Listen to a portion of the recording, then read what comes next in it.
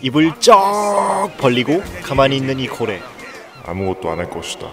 이미 아무것도 안 하고 있지만 더 격렬하게 아무것도 안 할 것이다. 사실 가만히 있는 게 아니라 와 새로운 사냥법이었다.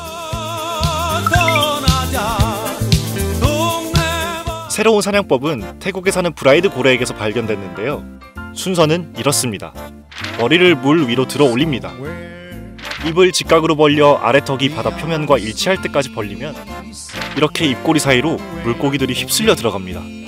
그럼 이 자세 그대로 있다가 와 입을 닫고 삼켜버리는 거죠.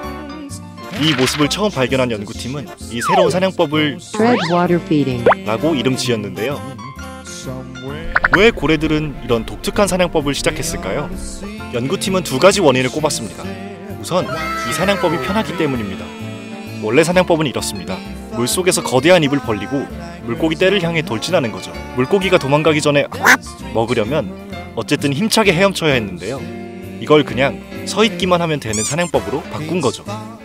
먹이를 찾아 바삐 움직여야 했던 팩맨에서 그냥 앉아 있으면 먹이가 흡입되는 커비가 되었달까요?